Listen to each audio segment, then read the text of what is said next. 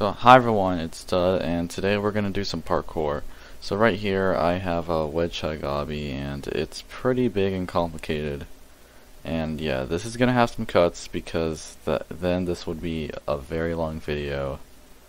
So right here at the start we have some pretty basic wraps, corner wraps, and now this jump.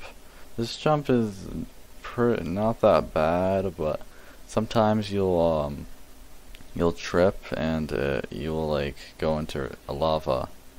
So that isn't very good. Now this right here is the hardest jump and it isn't very nice to do. I would kind of say it's RNG, but who knows. And yeah, it takes a while to set up.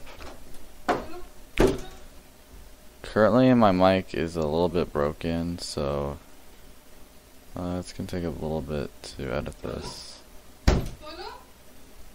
So we have this small little turn right here. And this isn't that bad, but I mess it up a few times. Now this part is a little bit easier, but it is it's easy to mess up because you will kind of you will kind of like jump up into the lava. Next you gotta you gotta shift lock right here and then go over here. Now this little thing is like very thin, so sometimes you will fall off. Now this jump may look deceiving, but it's not that hard. And this jump is quite hard to learn, but after some practice you can do it pretty easily.